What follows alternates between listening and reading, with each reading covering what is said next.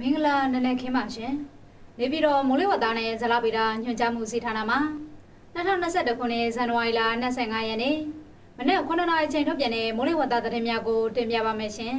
။ဒီကနေ့မနက်6:00နာရီခွဲချိန်တိုင်းရရရှိခဲ့တဲ့အနိုင်ဆုံးဦးချိန်များကတော့နေပြည်တော်မှာ14ဒီဂရီစင်တီဂရိတ်59ဒီဂရီဖာရင်ဟိုက်နဲ့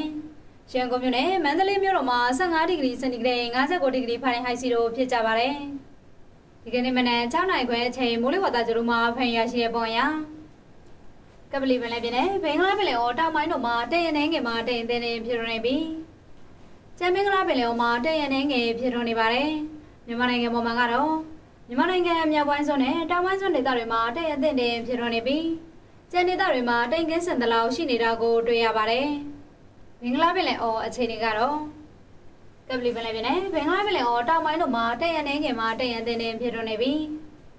ကျမ်းမင်္ဂလာပင်လယ်အော်မှာတရန်နေငယ်ဖြစ်ထွန်းနေပါတယ်မြန်မာပင်လည်းပြင်မှာလိုင်းနေငယ်မှာတင်းတင်းရှိပါမယ်လိုင်းမြန်မာမြန်မာဂိမ်းရန်ရှောင်းနဲ့ကမ်းလွန်ပင်လည်းပြင်တို့မှာ၄ပေမှာ9ပေခန့်ရှိနိုင်ပါတယ်ဒီကနေ့ညနေအထိခက်မှန်းချက်များအနေနဲ့ကတော့စကိုင်းတိုင်းဒေသကြီးအထက်ပိုင်းကချင်ပြည်နယ်နဲ့တနင်္သာရီတိုင်းဒေသကြီးတို့မှာတရန်တင်းတင်းဖြစ်ထွန်းပြီး ချင်းပြည်နယ်ရခိုင်ပြည်နယ်မကွေးတိုင်းဒေသကြီးစကိုင်းတိုင်းဒေသကြီးအောက်ပိုင်းမန္တလေးတိုင်းဒေသကြီးနေပြည်တော်ရှမ်းပြည်နယ်ကယားပြည်နယ်ပဲခူးတိုင်းဒေသကြီးအေရရီတိုင်းဒေသကြီးရန်ကုန်တိုင်းဒေသကြီးကရင်ပြည်နယ်နဲ့မွန်ပြည်နယ်တို့မှာအများအပြားသာရပါမယ်နေပြည်တော်နဲ့နေတို့အတွက်ဒီကနေ့ညနေအထိမိုးလေဝသအချိန်နေခန့်မှန်းချက်မှာအများအပြားသာရပါမယ်အမြင့်ဆုံးမှုချိန်မှာ30ဒီဂရီစင်တီဂရိတ်86ဒီဂရီဖာရင်ဟိုက်ရှိနိုင်ပါတယ် ရန်ကုန်မြို့နယ်နေတဝိုင်းအတွက်ဒီကနေ့ညနေအထိမိုးလေဝသအခြေအနေခန့်မှန်းချက်မှာလည်းအများအပြားသာရပါမယ်။အမြင့်ဆုံးမှုချိန်မှာ31ဒီဂရီစင်တီဂရိတ်88ဒီဂရီဖာရင်ဟိုက်ရှိနိုင်ပါတယ်။မန္တလေးမြို့နယ်နေတဝိုင်းအတွက်ဒီကနေ့ညနေအထိ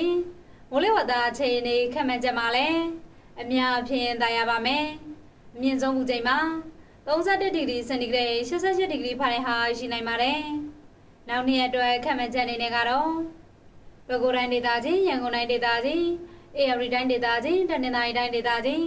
ကယားပြည်နယ်ကရင်ပြည်နယ်နဲ့မွန်ပြည်နယ်တို့မှာညအပူချိန်များအနေငယ်တိုးလာနိုင်ပါတယ်။အခုတင်ပြခဲ့တာကတော့ဒီကနေ့မနက်9နာရီချိန်ထုတ်ပြန်တဲ့မိုးလေဝသသတင်းများပဲဖြစ်ပါတယ်။ကိုစိတ်နှပြကျမ်းမာချမ်းသာကြပါစေရှင်။